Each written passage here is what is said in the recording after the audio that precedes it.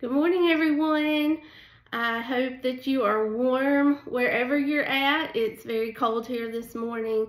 So um, I just hope that your first Sunday of Lent is spent celebrating and I hope your first week um, or half week into the Lent season is going well.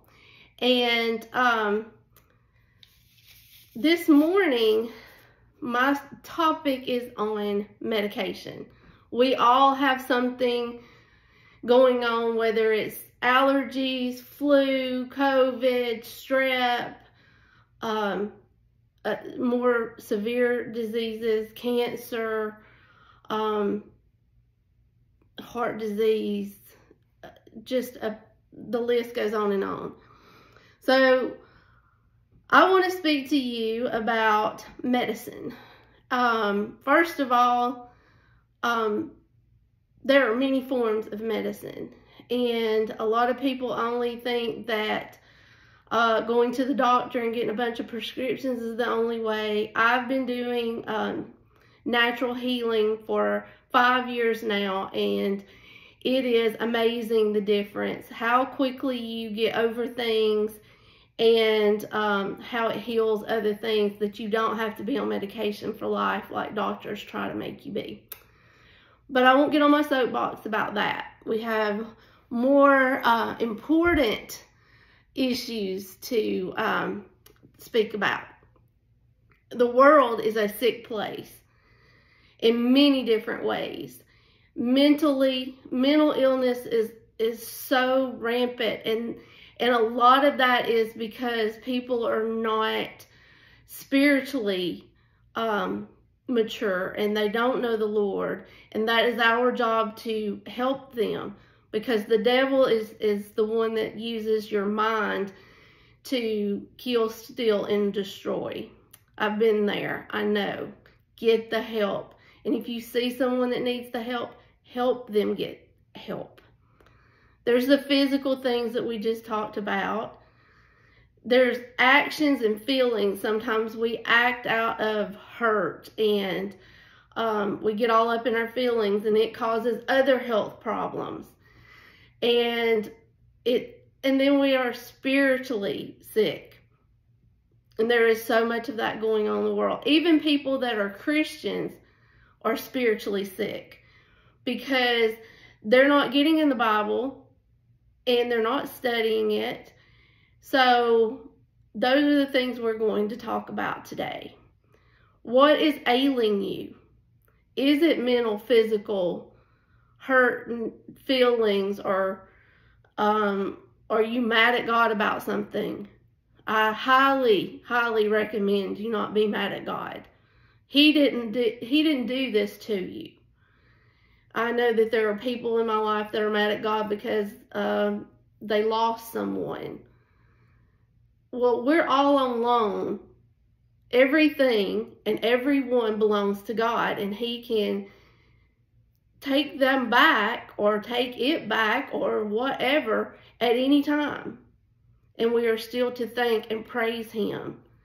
And uh, because everything is a blessing and a gift from God whether you're a believer or not. So, um, how do we get our hearts, our souls, and our minds right biblically, spiritually maturity?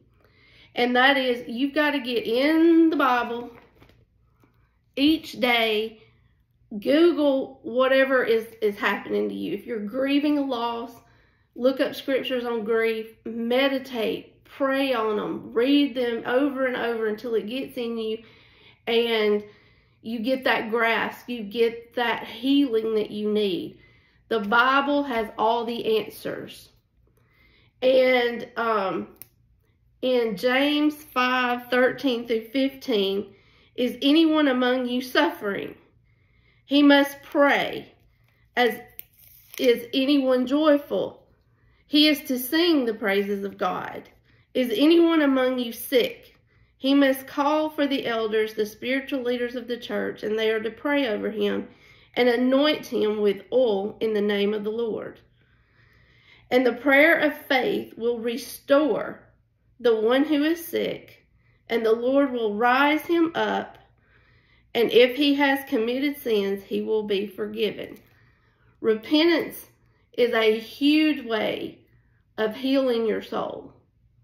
It is a great medicine, the, the act of forgiveness after repentance that the Lord gives us. That heals things inside of us that we didn't even know was broken sometimes. And, and, and if you pray to God to help you with something and he shows you, it may be something you didn't even know was hurting you. So always be receptive to what the Lord is showing you and teaching you and guiding you. Jesus is the great healer and redeemer of our hearts, our souls, and our minds, and of our health. He has not gotten out of the miracle business, the healing business, the blessing business. We've become bratty, ungrateful people that just expect him to, you know, do what we want when we want and how we want it. That's not how God operates.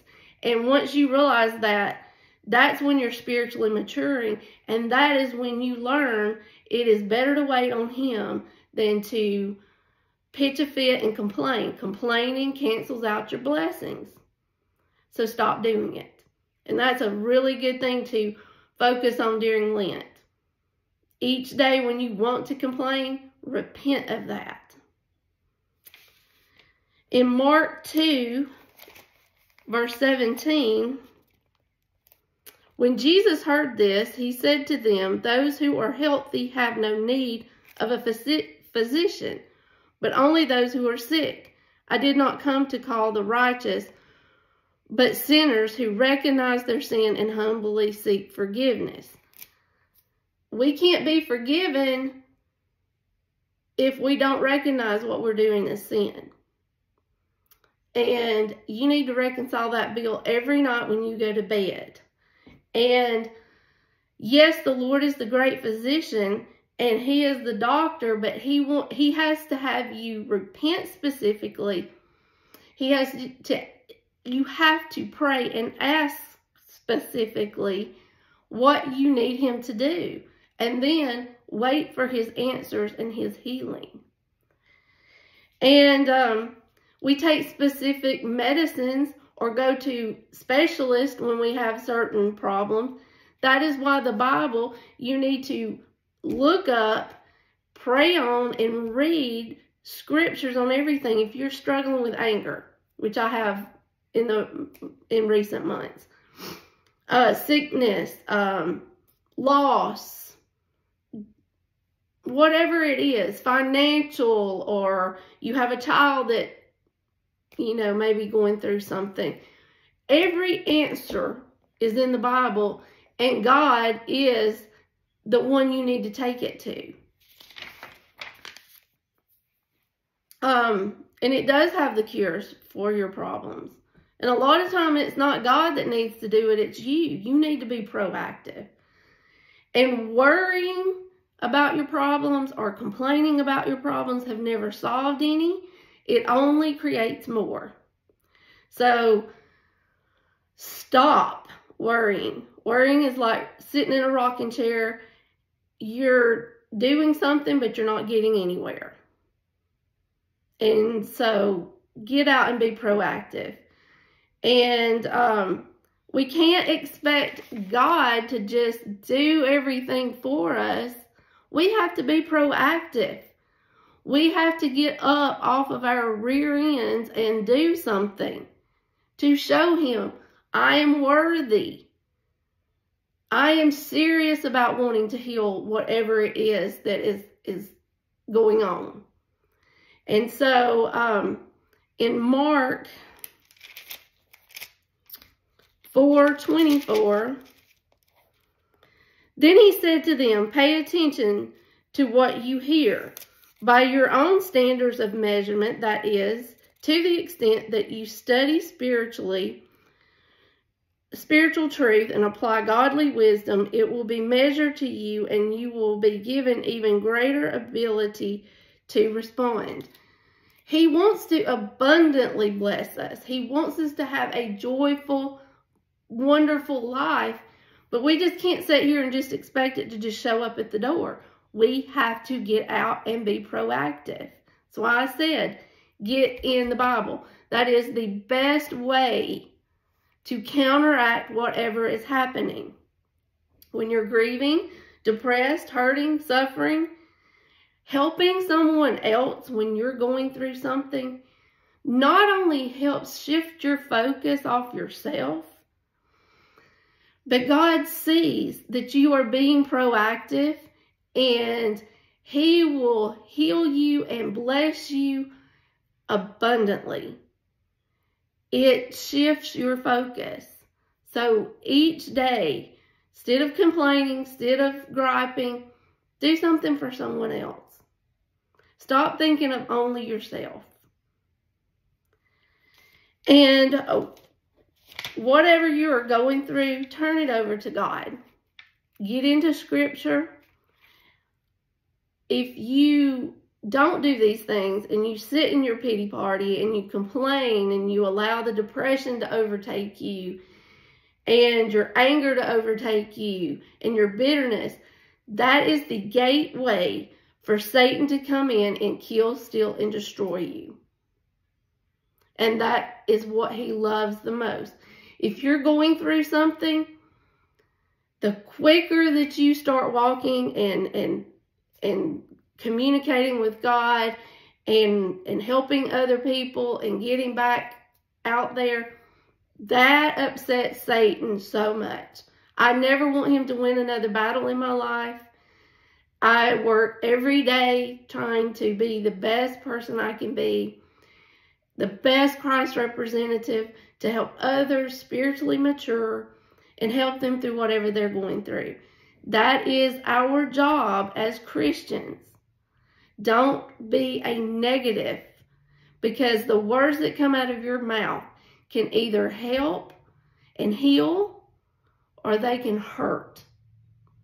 Make sure you're very careful and guarded with your words. God is still in the healing and the restoration business. He's still in the miracle business.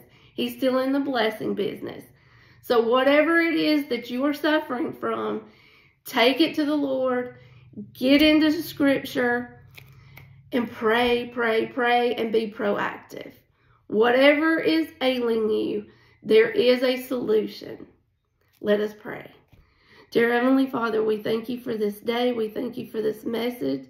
We thank you for your blessings, your healing, and most of all, your Son, Jesus Christ, who went to the cross and that is the season that we're in to become stronger, more positive Christ representatives for you. Dear Lord, help us to repent, to grow spiritually mature, and lean on your word and trust and walk in faith. Dear Lord, as we always ask for you to keep a hedge of protection around all of us and our, our loved ones, keeping us happy, healthy, and safe from anything or anyone that can harm us. In Jesus' precious name, amen. Whatever you do this week, if something is bothering you, go straight to prayer and the Bible. Until we meet again, God bless each and every one of you.